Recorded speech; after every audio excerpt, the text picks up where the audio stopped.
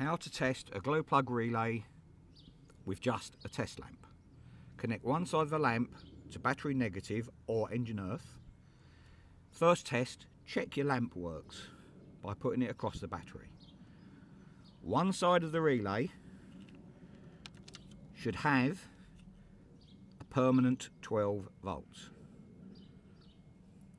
On the small wire, nothing until ignition on. You'll see the lamp light for 4 to 8 seconds. Ignition off. If you get 12 volts there, test it on the output of the relay. Ignition on. Same thing. Ignition off. Ignition off.